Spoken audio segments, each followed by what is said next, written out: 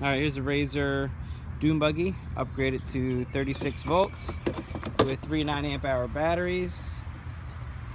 Uh, add a reverse switch. It's got a 400 watt Currie motor, 36 volt throttle, little power button right there.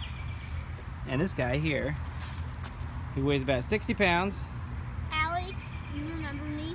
Yep, From the Alex. videos? Yeah. All right, you ready? Go.